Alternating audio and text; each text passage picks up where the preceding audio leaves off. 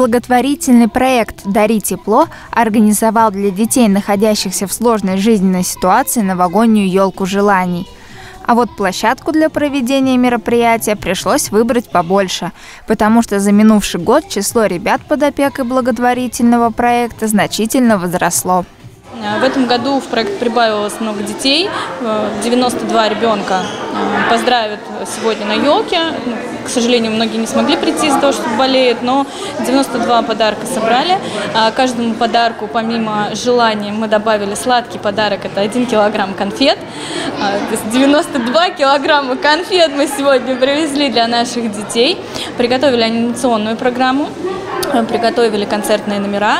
Ну и, конечно, Дед Мороз и Снегурочкой придут, поздравят и подарят подарки. И самое интересное, у нас сегодня будут огромные трехметровые ростовые медведи. Уже шесть лет подряд благотворительный проект «Дари тепло» не оставляет без внимания семьи, нуждающиеся в поддержке. Его создатель и идейный вдохновитель Кира Крылова точно знает, как порадовать ребят. Она приглашает на праздники аниматоров и артистов. А площадкой для проведения елки стал Дворец культуры «Юбилейный», коллективы которого тоже преподнесли детям яркие творческие подарки.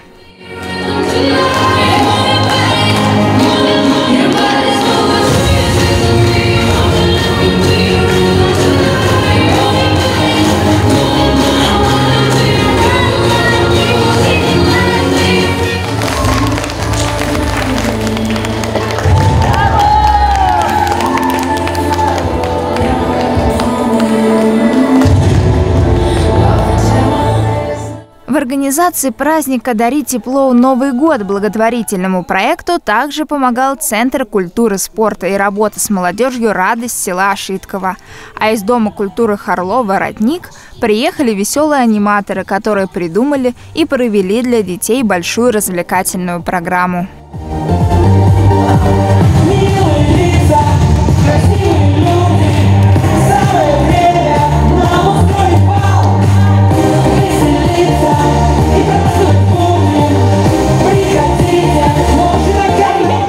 Но на этом сюрпризы не закончились. Фишкой праздника стала гигантская ростовая кукла медведя, которая вызвала у ребят восторг пропорциональный своим размерам.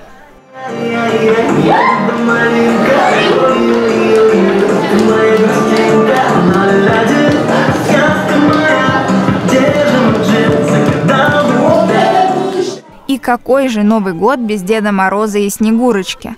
Ребята с нетерпением ждали их весь вечер, и когда те пришли, гурьбой ринулись к ним.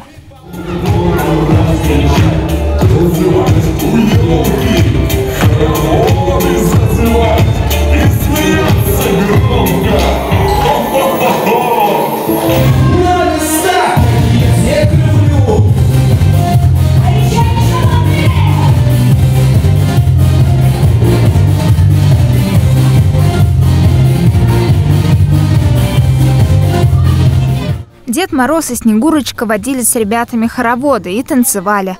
А в завершении вечера самые смелые из детей рассказали стихотворения и заслужили новогодние подарки. Ним ее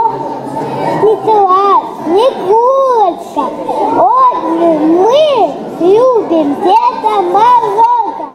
Проект «Дари тепло в Новый год» вышел действительно масштабным. И даже те дети, которые не смогли рассказать праздничный стишок, не остались без подарков. Анастасия Сибирякова, Евгений Стародубов, Новости из Кровект.